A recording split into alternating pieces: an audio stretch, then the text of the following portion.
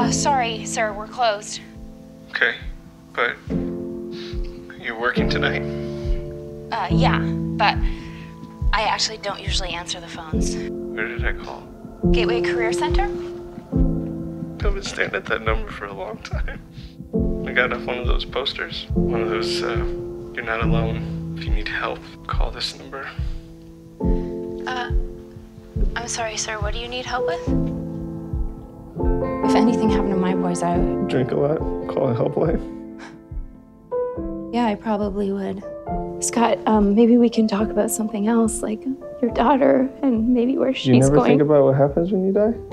um, no, I don't really um like to think about that. I do. Even I'm starting to believe it. Believe what?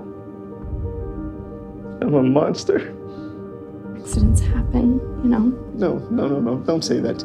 But No, it's no, true. You don't Scott, get to say that to me. You- no, trying to help accidents happen. You know, it happens for a reason. God works in mysterious ways. Scott, please answer me, okay? Think about Emily, okay? She doesn't want you to go. Scott, please don't go.